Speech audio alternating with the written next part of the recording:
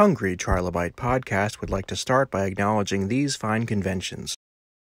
SoonerCon is Central Oklahoma's longest running pop culture convention. The next event is scheduled for June 24th through 26, 2002, in Norman, Oklahoma. However, they need your help to put on the next event. Please visit SoonerCon.com to find out how you can help make SoonerCon 30 a reality. The Hellmouth Convention. The Hellmouth Convention is a celebration of all pop culture, but specifically things like Buffy, Angel, Firefly, and Doctor Horrible. It is held in Los Angeles, California, and the next event is scheduled for June 3rd through 5th, 2022. Proceeds benefit the Los Angeles LGBT Center as well as the Ron Glass Memorial Scholarship Fund. For more information, go to thehellmouth.org. On tap today, we have Laura Banks. How you doing today? I'm doing great. Thanks. Thanks for having me here. I'm glad to have you. I'm when I saw your name come across my screen, I was like, I'm I love so much about what you do. And I'm I'm going to get started because I have a lot of Trekkies in the audience. So it would be remiss of me to not mention that you were in Star Trek 2 and might not be the first person they think of when they think of the movie, but they know you. They know my visual image from a picture of me that went everywhere when it first came out, including the box cover in Time magazine and just everywhere with Ricardo Montalban as his, they've called me his pet, mm-hmm. uh, Khan's pet. Uh, yes. And, and the neat thing about this is you are a fan too. Yes, well, I certainly grew to be one. I wasn't at the beginning, and I grew to really appreciate everything related to Star Trek and its image and destiny with everything interracial and positive and the universe comes together for good message mm-hmm. and and your exact role was at a really neat point in its history because this was before next general mm-hmm. there had only been one movie which had its own rocky history so this could have very well been the last hurrah for star trek but in a way you kind of got in on the ground floor and there's been a fascination with those characters that that Khan brought on board.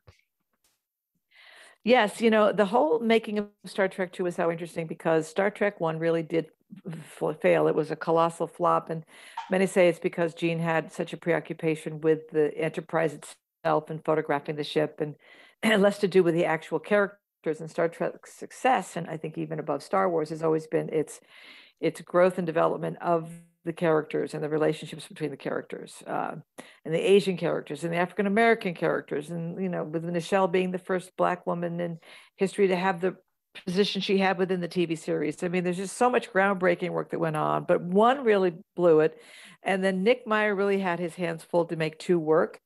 Uh, so he he had to come in under budget, and he did, and he threw himself as a writer into making it work. And I, I, remember vividly a lot of the times he was very frustrated with Paramount Pictures. I worked for about a month on the movie, and he was very frustrated because uh, it was an uphill battle to let the studio have him in creative control of his own project. But he fought, he fought hard, and to everyone's victory.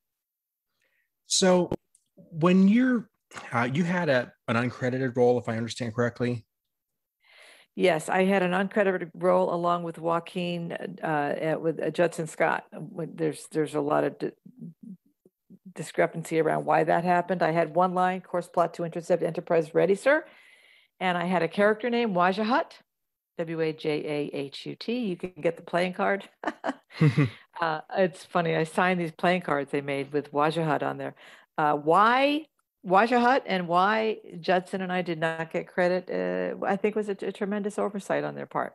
It, it was. And, you know, since your, your appearance was so brief, I, I really feel like I want to ask did you ever get a chance to look into what's been developed in, in your characters through the books and other literature since then?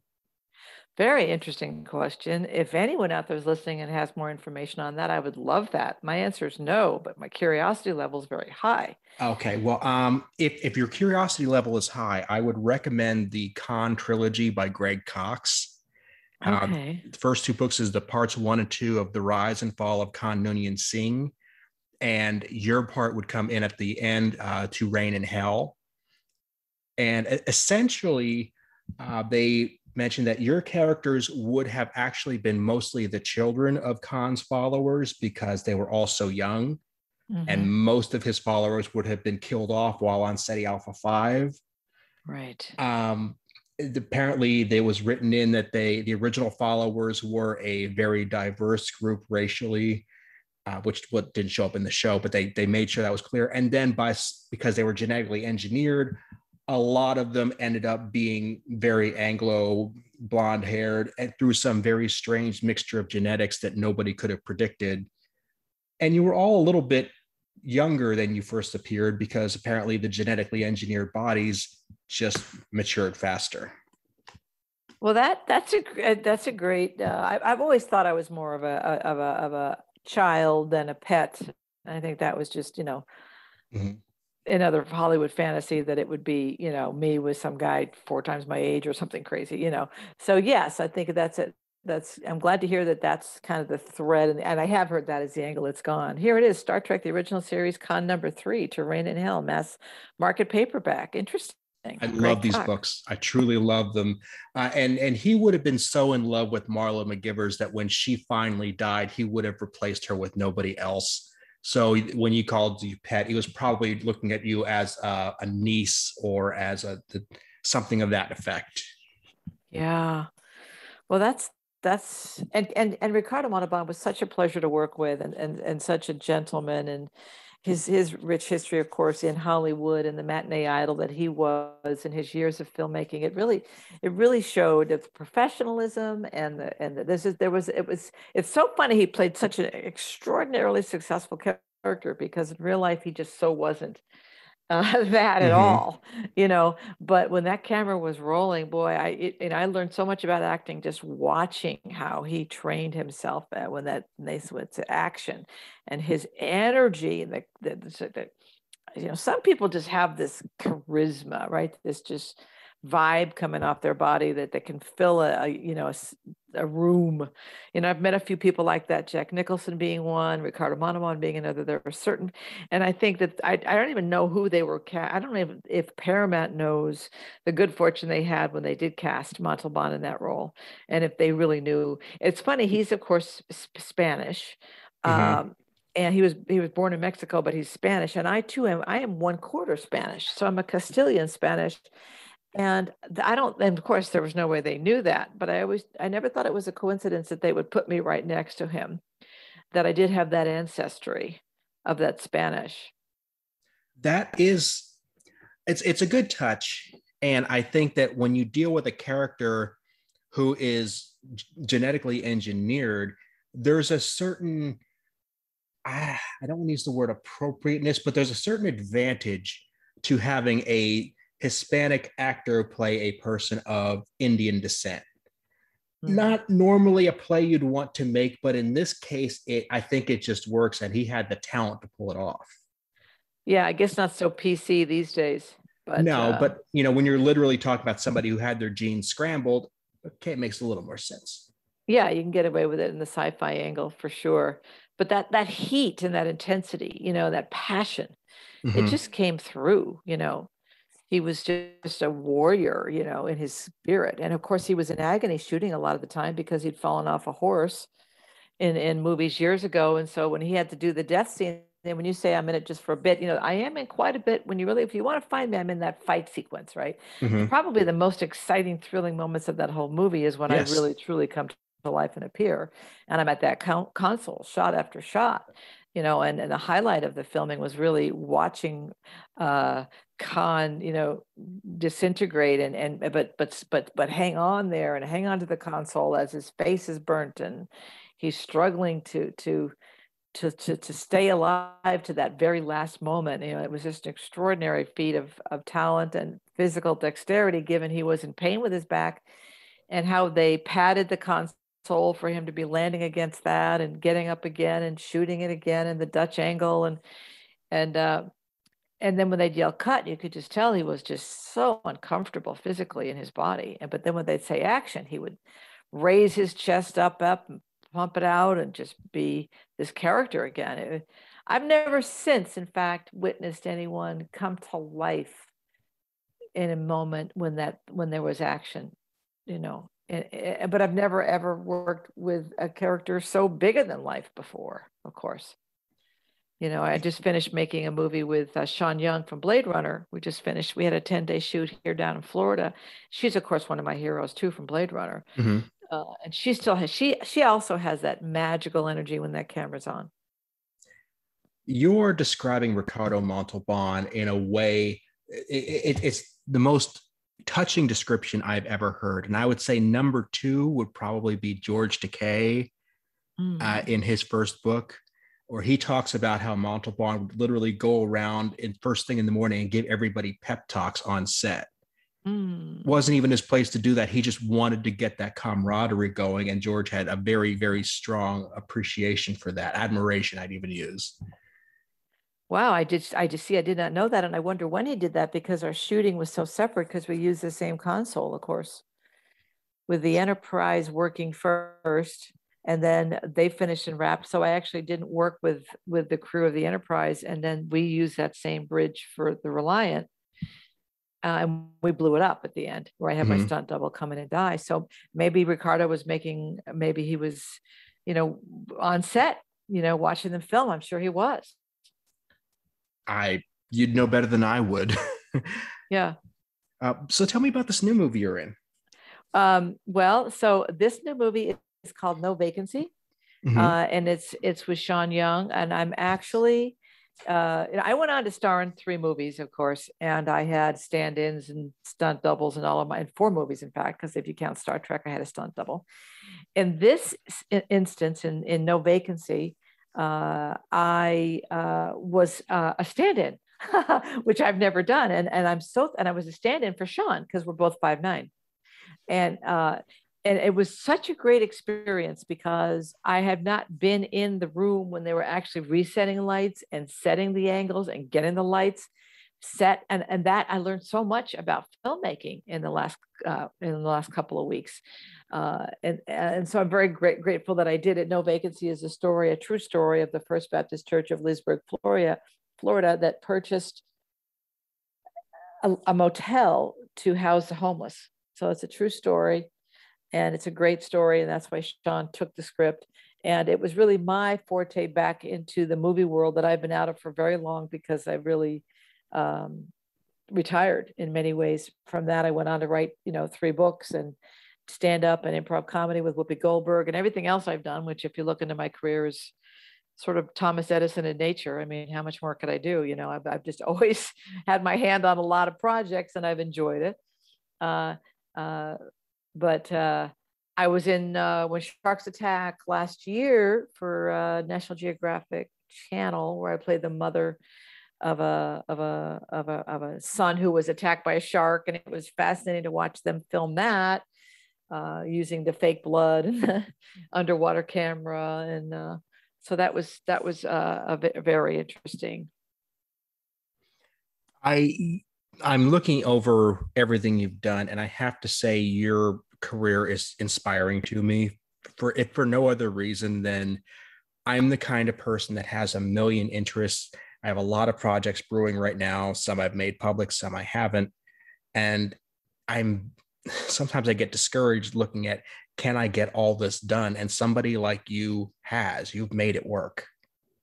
Well, you just keep following your dream and it's it's like loving the craft of of acting you you can't worry you, you you're gonna light up the world i mean i'm an astrologer i have zodiacmagicpodcast.com uh, I, I, co-host with Doug Stephan, who's the second oldest voice on uh, ra- radio in, in, the United States, and has won a Marconi Award for his work in radio. And we we bring on all kinds of intuitives and psychics, and I do I read the planets and talk about that.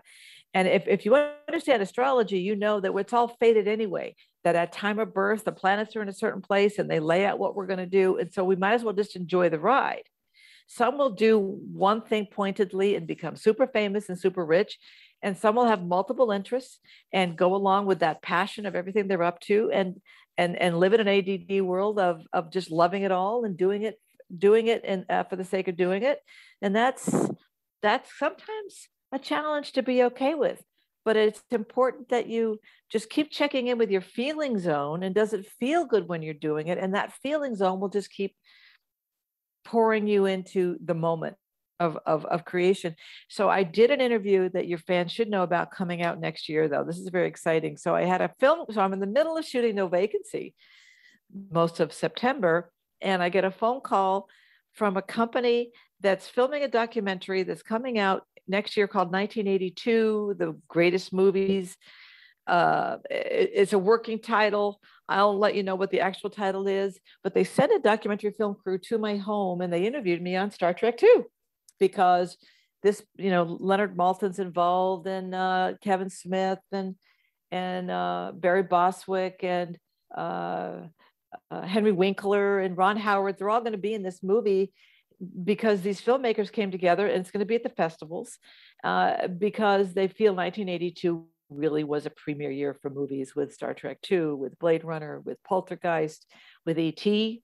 I mean, they all came out in 1982. What were the planets doing then? Right? You'd have to tell me. I'm not an expert. On, I like movies, but I don't know about about planets. You know, I will go back and look December of 82 when I was filming that to see what the planets were doing and, and what they were doing uh, and the release of that film. Um, I'm also in a book coming out. They interviewed me for about an hour in a book, two professors from Illinois, I believe, who were hired uh, this year, recently, in the last few months, by Paramount Pictures to write a book about Star Trek too. It's it's very interesting that this development uh, they, they, it was a terrific interview. They, these two, this couple just know everything about ST2. I mean, they'd be great on your show. I mean, they were teaching me stuff. Uh, and, and that will be coming out. The book will be coming out next year as well, of course, because of the 40th anniversary of Star Trek 2. So you may start seeing me more places because there aren't that many of us left to tell the story of Star mm-hmm. Trek 2 on the actual set of the Reliant. Okay. So, you know, with Ronald Bongon and I mean, Judson Scott, I could certainly tell his story. Uh, but I don't know where all the other extras are and where they went, you know. But it's important to keep that story alive. And I probably hope to do appearances as well, which I used to do. If any of the stuff you've just mentioned is available online, I will make sure all the links go in the show notes on my website, aaronbossig.com. Great. And um, if there's, you know, if I can get uh, reach out to the, the authors of that book, I definitely will. Um, so uh, you've done a lot of stuff in live theater as well. Yes. Yes. Well, theater, uh, more in my younger years, uh, it turned out when I moved from Kansas, so I was born in New Jersey, raised in the Midwest, and I moved mm-hmm. to California. And as soon as I got to California, I discovered the comedy store. Flipped out, flipped out over what stand up comedy was, then met Whoopi Goldberg, formed a troupe. So my theatrical experience is certainly I've done my share of plays. Pirandello, Luigi, Luigi Pirandello was my favorite play I did. Uh, right, you are if you think you are, which is a brilliant, a brilliant play about characterization and the multiple characters within each of us, uh, and a kind of a who done it in the realm of who are you. Uh, uh, and Bertolt Brecht. I enjoyed I enjoyed the writing of Brecht. But, but really, when I really discovered improvisation, you know, my love of scripts became secondary to my love of discovering in the moment um, characters. And it really kind of sideswiped my stand up career, which I was in the middle of, in San Diego at the right place, right time in 1979 at the comedy store when Robin Williams, Billy Crystal, Jay Leno, Letterman, they were all taken off right there on Sunset Boulevard. And I was honing my career as a writer. But as soon as I discovered this, the, the improv, I, I, I, didn't want to be doing the same set over and over again.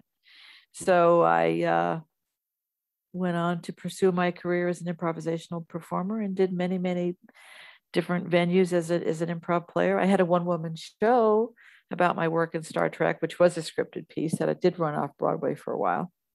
But there again, there's Laura Banks. I mean, how much can I put into a run on sentence about what I've done? but well, that's just me. Fair enough. But I have a huge fascination with improv because I mean, of all the talents I could say I have, that is so low on the list. I, it, it doesn't even register. And so, but the people that do get into that, that it is their world. It is their, it's it's a a mindset that just clicks and they run with it. It's an addiction. It's it's it it becomes pathological. Clearly, you you cannot get enough of it and and it's like surfing. It's like now right now I'm, I'm just coming out of what i felt was like a water volleyball coma because i've been playing a lot of ball down here loving it for the last three years. I kind of retired down here to florida and uh, i'm just sort of now going wait a minute you know like with this movie and with my writing i'm writing a fourth book and i'm working on my website stargalnetwork.com getting my message of astrology out there. I'm kind of waking up from it but when you fall in love with something either viscerally, physically, emotionally, mentally, improv, a sport, it's kind of it's it's like the blessing and the curse, right, Aaron? You you kind of try and pull yourself out of it. I mean, at least mm-hmm. I do. I get very passionate and very involved in what I'm doing, mm-hmm. and it's and it's and, and other things fall to the wayside, right? But I mean, that's being in the zone. I think that's the kind of the way it's supposed to be, you know. And that's what happened with improv. I totally fell into this zone of of being when you're up there and you're on stage and a moment clicks and the character and the who what where come together and and and, and you're discovering the the awareness of your other actor on stage a player on stage it's it's it's better than drugs better than sex better than rock and roll. You're just in this zone of co-creation and it's incredible. I recommend anyone take an improv class. And the people who haven't been to this or or haven't thought about it would say, well, how can you teach improv? And uh, what would be your response to that? How can you teach it? Mm-hmm. Well, it's how you teach acting. The first thing is to get into your body. It's how to. It's the same principles of really getting into your life. You know, people say actors are phonies. You know, or you can't trust an actor because you don't know when they're real. And Brad Pitt said it best of all. I've never heard anyone say it so well he kind of blew the whistle on the fact that actors are some amazing people that have all this understanding and knowledge and capacity for taking on characters and all that.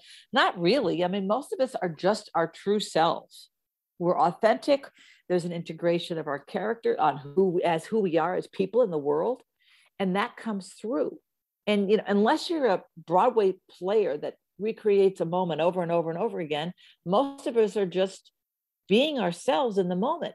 And and how you teach that is what they teach in acting 101 which is feel your feet landed squarely on the ground. Feel the carpet or the floor between your feet and the ground. And then you work your way up to what are the sights and smells in the room you're looking at in that moment. What what are you really feeling? Like today i kind of had an agitated day. Maybe it's coming through. I had this run-in with this website guy. Probably not going to work with him until I own that, I can't get on with being with you. So it's mm-hmm. really about owning the emotions you're feeling, which a lot of us block. A lot of us block our emotional state. Mm-hmm. We're not in touch with it. We're worker bees. We're we're out there in the world putting on a smile, you know, kind of lying, kind of getting through it. We and people tell lies all day long, white lies. Mm-hmm if we could just drop into our bodies, physically feel ourselves, feel physically understand where we are emotionally, what's hurting us in our bodies. Like I got an itch on my toe, I can't scratch. I got, you know, I got some anxiety today. Then you can layer on that. You can layer anything into that. Like hanging out with Sean Young on set last week. You know, I'm doing her astrology charts tomorrow. Do you know who Sean Young is? Mm-hmm. Okay. Many people don't. Of course you do um, because she hasn't worked in a while because she got blacklisted and all kinds of crazy things happen. Well, she's not crazy. She's fantastic and totally authentic, totally herself, says what's on her mind. That's talent. That took her a lifetime of understanding herself. I'll tell you one way to get there is through journaling. Journaling is the best kept secret. I don't know why it isn't a course offered in elementary school. If you just start writing down where you are in a day, you can layer onto that any kind of anything you want there you go. I mean, that's how you, that's improv, you know, just knowing who yourself are. And then, then you have to learn, you know, space work. You got to learn how to act like you're picking up something or, you know, you, you have to learn to listen, which I'm not doing very well to you right now. I'm taking over this whole thing, but you no. learn, you learn listening skills. and you learn to yes and another great phenomena of life. You, just say yes to life as often as you can. It's going to work. It's when you start saying no that you're living in fear. And it's, it's you know, I you know, probably should write an, uh, a chapter on this in my book about the parallels of improvisation and, and having an amazing life. It really does have to do with saying yes. That's amazing. And I mean, I, I should just, I thought it was implied that I was a Blade Runner fan because of how sci-fi I am. But truth be told, I, I, I might just have to say, oh, wonderful movie. I love that movie to death. To death. Um, but a lot of what you're talking about boils down to mindfulness, which is a talent that people don't really understand right now and is something our culture truly needs. Well, yeah, getting off the, the gerbil wheel and slowing down and looking at what it is that is your imaginary life that you'd be living if you could be living any life. And what if you were told that you could have that life by just focusing on it? People don't know, but that's possible. It's entirely possible. I mean, everything I've done from the movies and the books and the comedy, it all started with an imagination that I could do it. I mean, I came from a dysfunctional family in Kansas mm-hmm. with nothing on my side to make it work. And I went out and I took a lot of courses and did a lot of work on myself and did a lot of affirmation work and did a lot of imagining. And now I'm in the process of creating a system to give other people to access the subconscious and the imagination to manifest their dreams. And it's possible. It's beyond possible. It's totally probable. We keep manifesting what we focus on. and know, we're on a gerbil wheel of repeated thoughts patterns. Mm-hmm. I, I think part of it is that, you know, when we're young, you're taught you can do anything, you can be anything. But that message kind of gets redirected to, but you have to do go to this school and get this job and fill out these papers. We, we tell people to have these big dreams, but we want to focus them straight into one specific path to get there. And that path is not the best for every dream out there. It's not. And and we're focused on materialism. And I mean, there's so many things we could say that make it challenging, but let's just say it's possible. Let's just mm-hmm. leave it there that the imagination, filmmaking, I mean, just watching these brilliant filmmakers work last week at the Kingstone Studios here in uh, uh, Leesburg. This is a dream. It took them seven years to make this movie, and they did. And the dream started with seeing homeless people that needed a place to live. Mm-hmm. Star Trek was Gene Roddenberry, right? In its infancy, this is a man that just saw the possibility. This is a guy with a military background who saw the possibility of a world that came together. And then he made it universal. Then he made it about the universe, for God's sakes. Mm-hmm. I mean, how about we get that expansive? I mean, is that genius? We look at that and we go, oh, that's just someone who's touched, right, in a positive way, in a way that none of us, the rest of us, can be. Well, on some level, there is some truth in genetics and in karma, right? That we're all at a certain part point in our evolution, which I believe. But then how can we manifest our best evolution? And since we're dealing with a Star Trek fan base here, you know, what was the evolution of Khan? You know, what was the evolution of my character in that film and our lives? You know, we we we made it to where you discovered us. You know, mm-hmm. Alpha Ceti Five, right? Mm-hmm. And then he managed to find Kirk out there in space and have his have his day, have his moment have him let let let Shat let let let let Kirk see him. I said Shatner. Let Kirk see him that he survived, that he's here, and almost okay. He didn't. He didn't. He didn't make it. He didn't win. We didn't win. We were killed. We were killed. Right. But he got Nemo. He got you know. He got Spock. He killed Spock. Mm-hmm. You know. And and now that's the that's obviously a horrible negative thing on this, but it all started with the possibility of something and the conclusion of something and the growth and development, the desire. It's when we just stop pursuing the possibility that it all just, just life becomes just unbearable. And I think during this COVID crisis, a lot of us have lost focus on the possibility of our own dreams. Mm-hmm. It's been a real challenge to the spirit. I think we're dealing with a lot of depression in the world.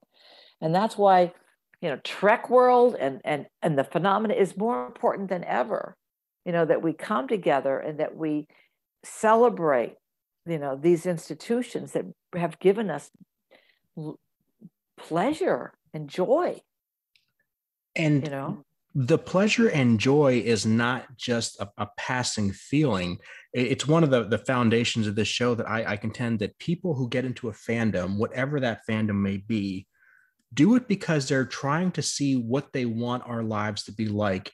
And the fandom gives them this the, the building blocks to figure that out. Like with Star Trek 2 specifically, like I said, it was Star Trek had been dormant for a very long time they had a rabid fan base watching it in reruns, but the, the future was very unclear. And then, you know, we have this motion picture, which is essentially a TV reunion movie. It's a little more the same. We're all glad to have it, but where are we going with this? And and the genius thing to me is that while the motion picture was kind of more the same with better visuals, the Wrath of Khan is a movie about them getting old. It's about the passage of time. And that to the fans starts to say, we know you've grown with this. We know this is a part of your life, and you might be toward the end of your life, but this is still here for you. And when you deal with the loss of your best friend, this is here for you. And, and the, the people whose friendships were shown in that movie, we want you to have those kind of friendships too. Yeah, I just get teary even thinking about that scene mm-hmm. where Spock passes. It's it it is about you're right, Aaron. It it it, it is the building blocks and the lessons learned to go out and generate beyond the tragedies that surround all of us. And my father, he's 98 years old. He's a World War II vet. And I'm watching him just having turned a corner to dementia and other physical issues. And it is a very hard thing to witness. And we come together and watch Star Trek, and it gives us that community that lets us get through it together. Mm-hmm. Right? It's even an energy that comes together. There was such an energetic, you know, I interviewed William Shatner on my podcast and that was only a couple of months ago. And it was so interesting. I mean, you can listen to it. And I asked him a lot of questions about a lot of things. And really, it we, we got on this whole track of understanding energy and understanding how thoughts have form and shape. And they go out in the universe and they create things They've even in physics, you know, their uh, thoughts are in S form and they go out and they, like a radio signal, go out and generate. And imagine the power of a collective consciousness that lives within Star Trek and the fan base that we are to assume was sort of this accidental thing that happened around this accidental show when in fact, what if we're all generating this collective consciousness and actually we are in some way saving the universe? Mm-hmm. What's that chance? I mean, we do not know. I mean, how many parallel universes are we living in? And forget the parallel. What if just we are collectively generating an awareness that we all interracially need to come together that we can transpose ourselves in time and space to someplace else because that is what our thoughts are doing. They're regenerating themselves out in time and space. We can't physically get beamed up, but our thoughts are. I mean, if you put any work at all into studying the nature of energy and matter, you know that our bodies, first of all, are mostly just nothing, mostly air. 98% of DNA, they don't even understand what it is. What is it? 93% of our brain or more we don't even use. We don't even know what it is for. The, the, the, earth is 97% unusable because it's water. I mean, everything seems to be this 3% ratio. So we're living on this 3% iceberg tip of understanding of how we're even using our consciousness.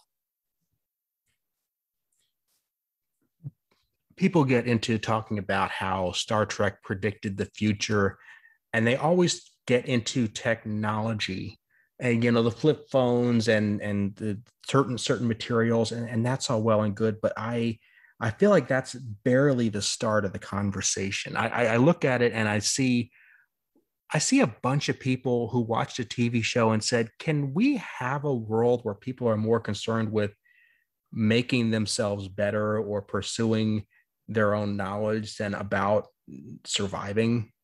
Can, can that be a thing? You know, instead of worried about getting tomorrow's dinner, can we worry about researching something that that might change the world for the better many times over? and what is, if we're doing that without doing that, Aaron? Yes, exactly. I mean, that's the thing. Like, I'm creating a program now where people can listen to it at night while, while they're sleeping. And I really mm-hmm. believe if you reprogram your brain at night, you can kind of start generating in a whole nother level of consciousness. Mm-hmm. What if we are worried about our dinners and we're worried about our, our relationships and our health and going about with our jobs?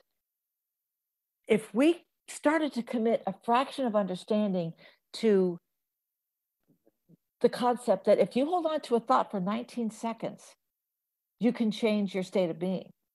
If you're depressed, and if you could just focus on feeling good, which is really the work of Abraham Hicks, who's this brilliant teacher I've worked with for many years.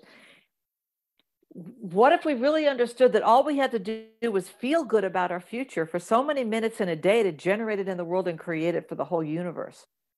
What a profound thought that is.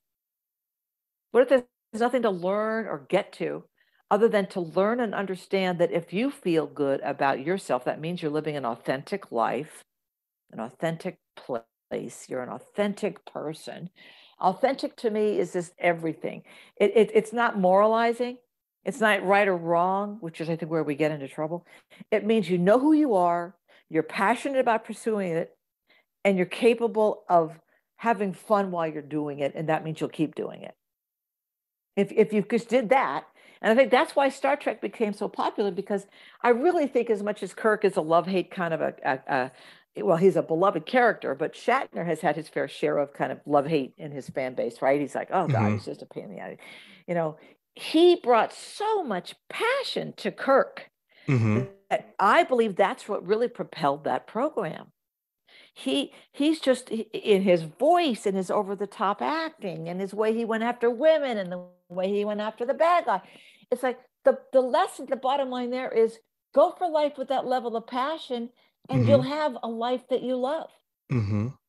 you'll have a show that you love you'll you know and then and then there's all the other stuff right and just you know well what discipline do you bring to that what you know who else can you include in that who else can you help along the way but most of us aren't even helping ourselves because most of us don't even know what we want, mm-hmm. much less how to go after it.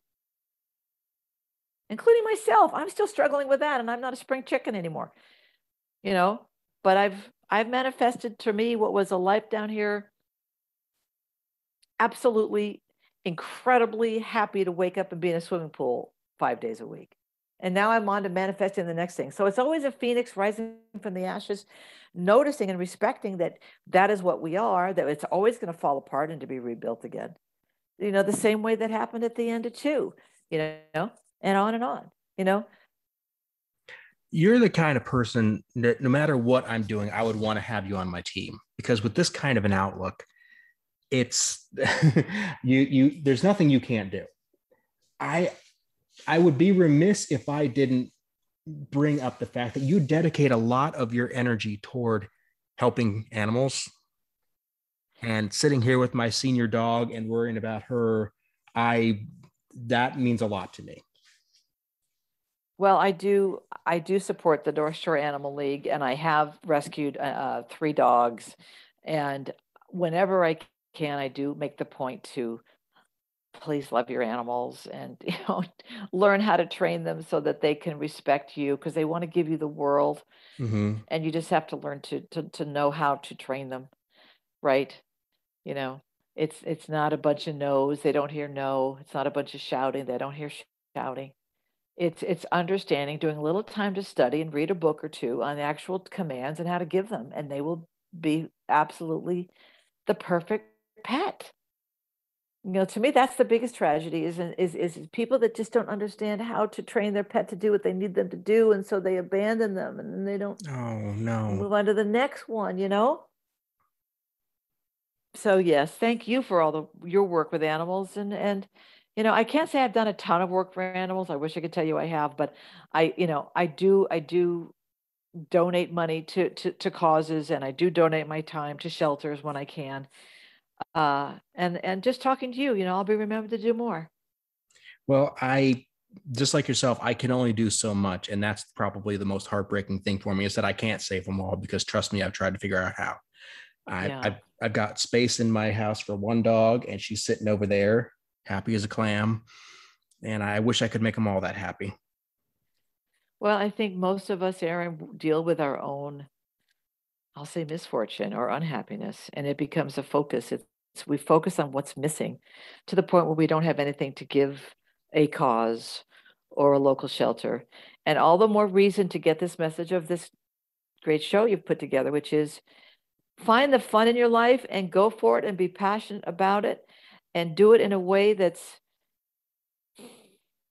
got you full in it for lack of a better way to say it and it should all work out. I mean that's what they always say right? You know if you love it it'll work it'll make it'll pay your bills. You know it won't happen overnight. I still struggle with that now myself. There's no easy answers but i keep getting back to the true north of knowing that if i'm passionate about it and i believe in it it will work. That's probably the best possible place to leave it. There's a heck of a lot there to, to that could help anybody out there. And there's a few people I definitely want to toss this podcast toward because I know it'll help them specifically. Mm. Laura, I love what you're doing here. I would love to have you back anytime. Everything we talked about, I'm going to make sure it goes in the show notes so that people have easy access to it. Where else can people follow your adventures on the web? Sure. Uh, StarGalNetwork.com is uh, my website. Okay. That's really where you're going to find me. If they want to listen to me weekly, uh, go on uh, zodiacmagicpodcast.com, which is produced by Radio America, which is a great syndicate. Uh, we do terrific work on there. It's a great show. Hope to have you all listening. Awesome. Thank you so much. Thank you.